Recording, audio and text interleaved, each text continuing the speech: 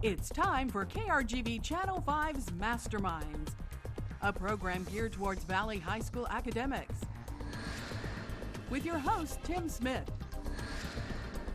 Today, Harlingen School of Health Professions and Nikki Rowe High School match wits in their quest to become this year's Masterminds champions. Hey everybody, welcome to Masterminds, Harlingen School of Health Professions and Nikki Rowe in round one competition today. And let's get right to it with our quick start questions. So hands on your buzzers. Here we go, students. We start with a math question. Compute the fraction and reduce to lowest terms. 7 eighths divided by 1 fourth.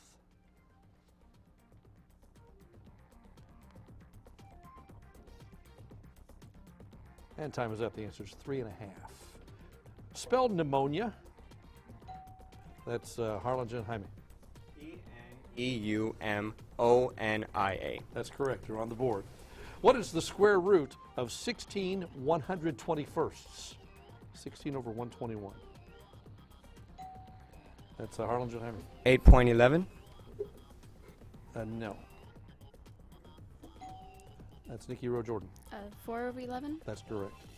Change measurement into unit. 23 days equal how many weeks?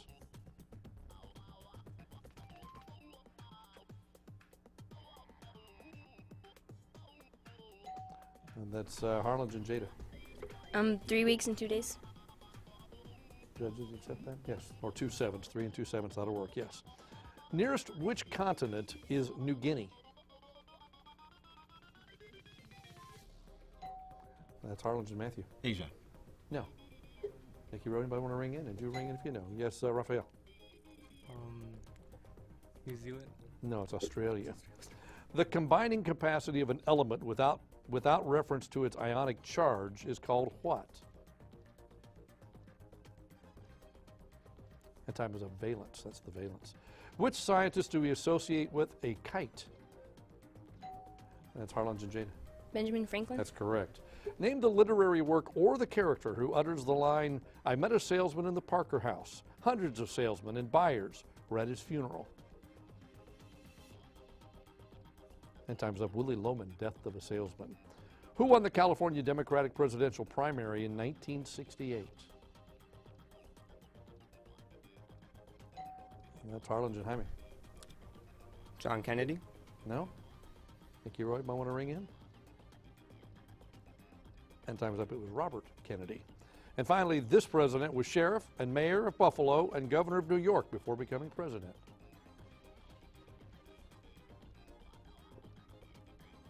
The time is up. That was Grover Cleveland. And that wraps up our quick start for today.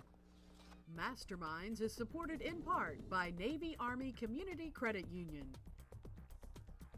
So after our quick start, it's Harlingen School of Health Professions 30, Nikki Rowe 10. Before we go any farther, let's meet our judges who are here once again today from the University of Texas, Rio Grande Valley. Please welcome Dr. Megan Burke, Associate Professor of History and Graduate Coordinator in the College of Liberal Arts, and Dr. Noreen Rivera, Assistant Professor in the Department of Literatures and Cultural Studies. Give our judges a round of applause for the hard work they do.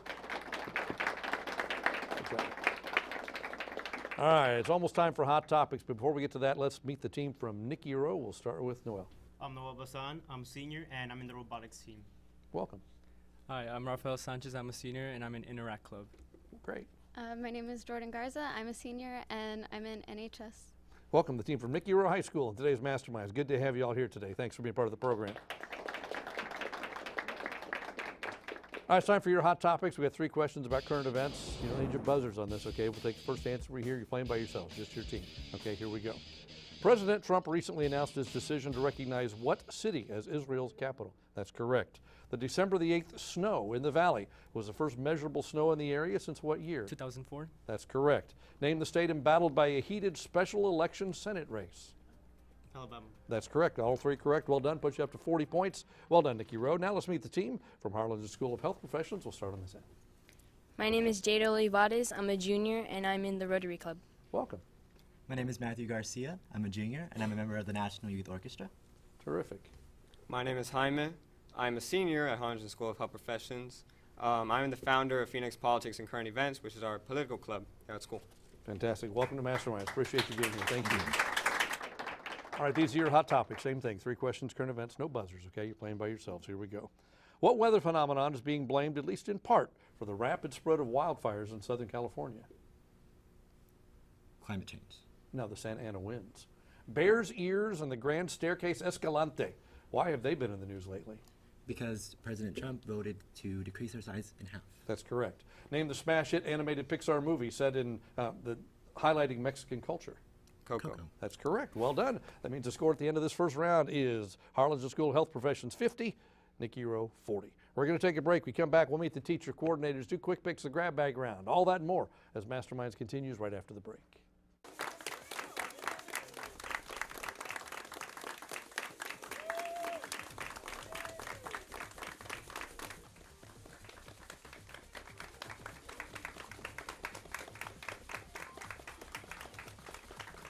Welcome back to Mastermind. This round one competition today, Harlingen School of Health Professions and Nikki Rowe. Right now, Harlingen's in the lead, 50 to 40. Let's meet the teacher coordinators from the two schools. We'll start with Nikki Rowe. That means uh, you're up, Rafael. This is Miss uh, Rebecca Lerma. She's our Go Center counselor for Nikki Rowe, and she's also our sponsor for Masterminds. Terrific. Welcome. We're glad you're here. Thank you. We appreciate it. And Harlingen, Matthew. This is Mr. Aaron Chilla. He's our school's AP Physics, Chemistry, and AP Art History teacher. And we're so grateful for everything that he has done in helping us put our club together for our first year. We're glad to have you here. Thanks for being part of the program. We appreciate it. The teacher coordinators who help the teams get ready to play so that we can have a lot of fun here. All right, students, it's time now for quick picks. For this, we're going to show you pictures on your TV screens, okay?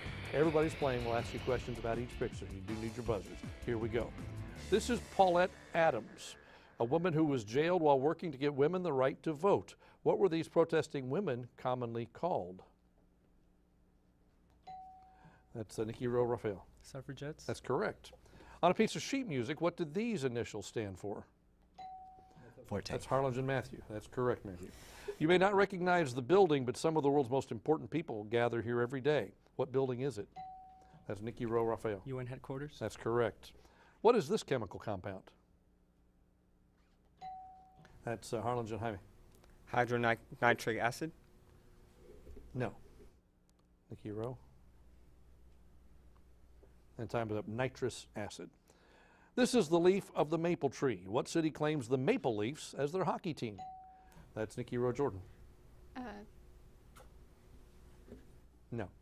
Harlingen, anybody want to ring in? No hockey fans here. Toronto Maple Leafs. This is Philadelphia's Independence Hall, where the Declaration of Independence was signed. Which Continental Congress was meeting at Independence Hall on July 4th, 1776? All right, Continental Harlingen Matthew, I'm sorry. I'm sorry. The first Continental Congress? No. Nikki Rowe anybody? And time is up. The second Continental Congress. A polar bear's diet usually consists of what animal? All right, Nikki Rowe Jordan. seal? Yes. This formula is how you determine the volume of what shape? That's Harlingen Matthew. A cylinder. That's right. This famous playwright is best known for the play Who's Afraid of Virginia Woolf? Who is he? And time is up. That's Edward Albee. And finally, in what country will you see this flag flying? That's Argentina. Harlingen Matthew. Argentina. That is correct. And that puts you in the lead, 80 to 70. So after our quick picks, the score is Harlingen 80, Nikki Rowe 70. Masterminds is supported in part by Navy Army Community Credit Union. So with the score 80 to 70, Harlingen over Nikki Rowe. Nikki Rowe, you get to go first in the grab bag round. Dr. Rivera has three envelopes which to choose. You can choose any one you'd like. Um, two. Number two. All right, you've got 60 seconds to answer the 10 questions in this category. If you don't know one, say pass, okay? We'll come back to it if there's time within the 60 seconds. The category you've chosen is science. All right, science. Again, 60 seconds, no buzzers. Take the first answer. We hear from the team on each one. Here we go. What metal is the best for conducting electricity? Copper. No. The second best conductor is most widely used because it's cheaper. Name the metal. Copper? Yes. What's the term for the outward flow of water following high tide? Pass. At what two points does the Earth's axis of rotation meet the surface? Pass. The invisible phase of the moon is called what? Pat. New, I'm sorry? new moon? Yes, that's correct. What is the queen bee's job? To have the eggs? Judges, no, no, okay. How many atoms are there in a molecule of water? Two. No. In what cold form is most of the carbon dioxide in the U.S. produced? Pass. Night sight gun scopes measure heat radiation in what range? Infrared. Yes. What can, that's the end of that. Okay. Let's go over, how many correct? Three correct, but you up to 85 points. Let's go over the others. The metal best for conducting electricity is silver. Copper was second. You got that one. The term for outward flow of water following a high tide is the ebb tide. At what two points of the Earth's axis of rotation meet the surface? That's the North and South Pole. The queen bee serves as a complete uh, reproducer, not just lay the eggs, but fertilizes the eggs. How many atoms are there in a molecule of water? There are three. In what cold form does uh, is most of the carbon dioxide in the U.S. produced? That was dry ice. Okay, puts you up to 85 points, puts you in the lead. Now it is Harlingen's turn. There are two envelopes remaining. You can choose either one you like, one or three. We'll take number one. Number one it is. Same rules, 60 seconds, 10 questions. Pass if you don't know one. Your category, if I can get it out of the envelope eventually, is miscellaneous. That doesn't help much, does it? Perfect. All right, miscellaneous. All right, we've got 60 seconds. Here we go. The first and last letters of the alphabet form the postal abbreviation of which state? Arizona. Correct. Riding these animals is the most dangerous event in a rodeo because they weigh over a ton. A bull. Yes. In which century did Mozart live and compose? The 17th century. No. Which language is used in the scientific names for all constellations? Pass. Pass. In his will, Albert Einstein left what part of his anatomy to Princeton University? His brain. Yes. What's the letter at the top of an optometrist eye chart? E. Yes. Add one letter to overalls to get another word for a loose fitting garment. Pass. What's the animal usually mentioned in the definition of the color sorrel? Pass. What is the name of the national flag of the UK? Union Jack. Yes. Tulips are best planted in what season? Spring. No, we'll go back. Which language is used in the scientific names for all? No, we won't. All constellations is where we had it. And we get correct, judges. Five correct, puts you up to 105 points. Back in the lead. Let's go over the others. Mozart lived, I know you wanted to do this, in the 18th century. Uh, which language is used in the scientific names for all constellations is Latin. Uh, add one letter to overalls to get another word. It was C for coveralls. The animal usually mentioned in the definition of the color sorrel is horse, and uh, tulips are best planted in the fall. Up to 105 points. Now there's one envelope remaining, which nobody chose, so envelope number three. That means we all play on this one, okay? You do need your buzzers on this. We've got 60 seconds still. There's no passing. Category nobody chose is city nicknames, all right? Name the city identified with each nickname and include the state, all right? Here we go. The film capital of the world. Harlingen Jaime. Los Angeles, California. No. Nikki Rowe, Raphael. Hollywood, California. Yes. The Mile High City. That's Harlingen Jaime. Denver, Colorado. Yes. The Windy City. Harlingen Matthew. Chicago, Illinois. Yes. Steel City. Nikki Rowe, Raphael. Detroit, Michigan. No. Harlingen. All right, Jaime. Something Pittsburgh. I'm sorry? I don't know. Something Pittsburgh, Pittsburgh. Pennsylvania. Something, it's Pittsburgh, Pennsylvania. You can't take that though. The Pittsburgh of the South. Time is up. Birmingham, Alabama. Gateway to the West. Harlingen Matthew. St. Louis, Missouri. Correct. Chocolate capital of the world. Nikki Rowe, Raphael. Hershey, Pennsylvania. Yes. Bison City. Harlingen Jaime. Buffalo, New York. Yes. Gulf City. Time is up. Mobile, Alabama. And that's it. Last was going to be biggest little city in the world, Reno, Nevada. All right. So after our grab bag, the score is Harlingen School of Health Professions 145, Nikki Rowe 105. We're going to take a break. When we come back, it'll be time for art and music. Each question worth 20 points. Don't go away.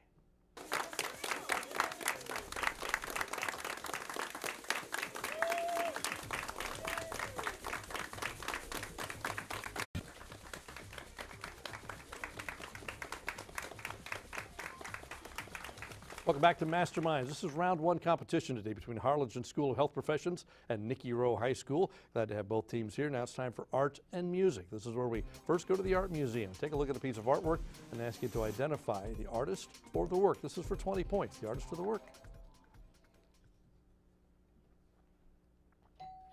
All right, Harlingen, Jaime. Pablo Picasso. No?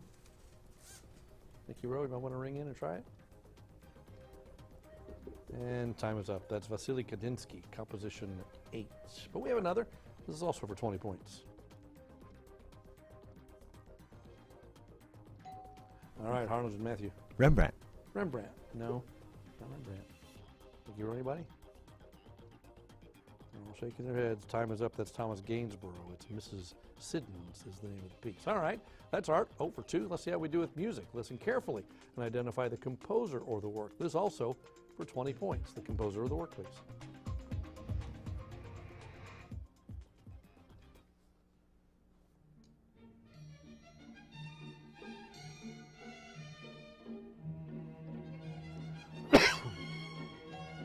Grieg. All right, and Matthew. I'm sorry. Grieg. That's exactly right. Anitra's Dance is the name of that.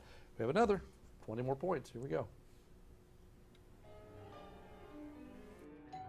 This is Harlan Chop- and Matthew. Chopin Etude, the Revolutionary Etude. That's exactly right. Well done. Knows his music, got 40 mm-hmm. points out of it, and that builds the lead to 185 to 105. Harlingen School of Health Professions over Nikki Rowe. We take a break. When we come back from the break, it'll be time for our final stretch. Don't go away.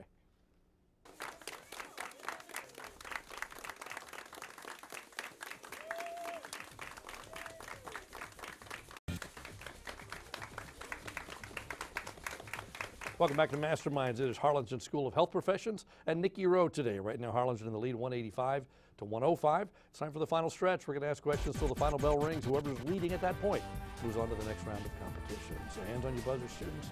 Here we go. What line follows "You Say Either" in the Gershwin classic "Let's Call the Whole Thing Off"? And time is up. And I say either was coming up next. And I say either. Paleozoic, Mesozoic, and Cenozoic are the eras following the Precambrian era. Give me the meaning of the prefixes Paleo, Meso, and Ceno.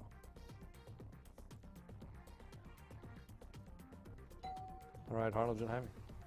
A lot, medium, less. No. Rowe, you might want to try it? I'm shaking their heads no. Time is up. Old, middle, and recent. If you intend to study bats, you should take a course in speleology. What is speleology? And time is up. That's the study of caves. You become a spelunker. How do you spell occidental? Harlingen Matthew. O X C I D E N T A L. No. Correct. Raf- uh, Nikki Rowe, Raphael. O C C I D E N T A L. That is correct. Trolls, sometimes giants and sometimes dwarfs, came out of which mythology? That's uh, Harlingen Jada. Norse? Yes. What is the connection between the Star Spangled Banner and the Gettysburg Address relative to the way they were written? That's Harlingen Matthew. Both are written in the aftermath of a battle. No? No? Nikki Rowe, you want to try it? Okay, Raphael. Uh, the time period. No, they're both written on the backs of envelopes. On the backs of envelopes. Name the two Polish leaders who contributed to the American military effort during the Revolutionary War.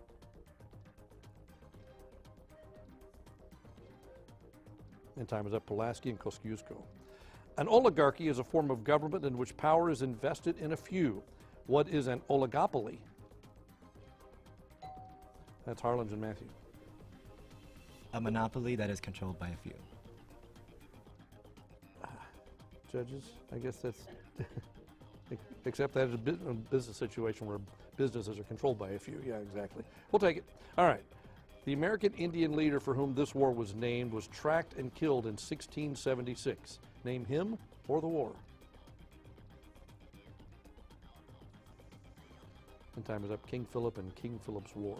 Name the three postulates to prove general triangles congruent. That's Harlingen Matthew. Cosine, sine, and tangent. No. Thank you, Roe. And time is up. Side, angle, side, angle, side, angle, and side, side, side. All right. How many different straight lines are determined by four different points in a plane if no three points are collinear?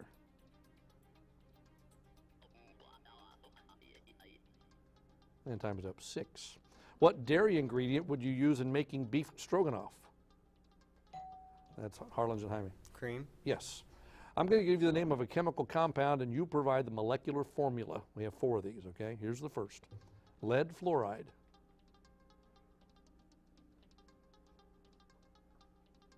And time is up. PBF2. About manganese carbonate. All right, Harlingen Matthew. MaCO. No. You wrote anybody? And time is up. MnCO3. How about silver cyanide? And time is up. AgCN. And finally, mercury chloride. That's Harlingen Jaime. HgCl2. No. Think you will. Jordan. A- AuCl2? Hg2Cl2. All right, we'll move on from those. What's the atomic weight of potassium if the atomic heat of potassium is 7 and its specific heat is 0.180? What is the atomic weight of potassium if the atomic heat of potassium is 7 and its specific heat is 0.180?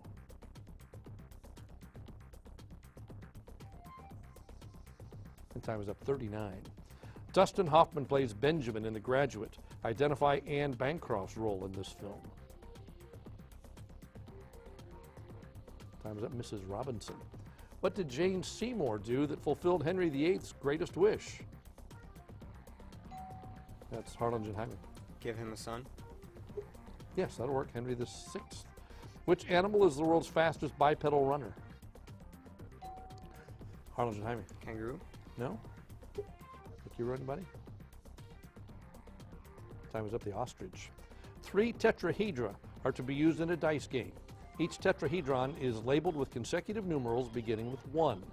What's the probability of rolling three ones? That's Harlingen Matthew. 118. No. Think you wrote anybody? And time is up 1 in 64. Name the Viking sea captain who established the province of Normandy and from whom William the Conqueror was descended. And time is up. That was Rollo. Four algebra questions. What's the greatest common factor of these quantities? 24x squared, y, and 48xy cubed.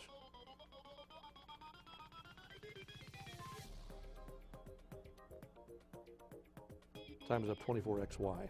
If a race car driver is traveling at a speed of 3 miles every 90 seconds, how fast is he going in miles per hour?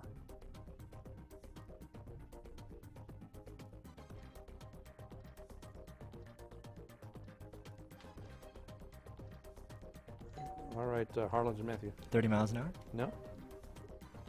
You wrote anybody? Okay, Raphael. 35 miles per hour. 120 miles per hour. 120. Consider the following equations of two coplanar lines. x equal y and 2x plus 3 equal y. At what point do these two lines intersect?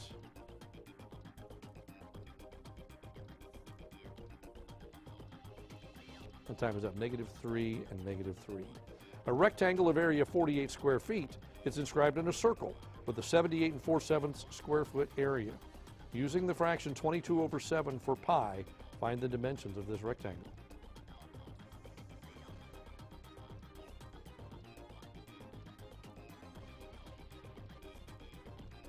And time is up 6 by 8. We'll move on from math. What is studied in dactylography and means a verification that uses loops, arches, and whorls in the process?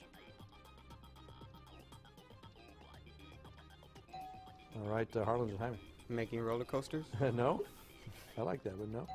Okay, Nikki Rowe Raphael. Uh, drawing. No, fingerprints. That's fingerprints. The flags of which, uh, which two Australian states have crowns on them? Time's up, Victoria and Queensland.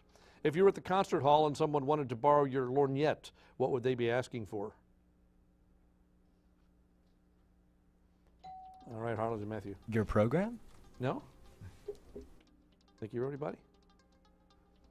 All right, Raphael.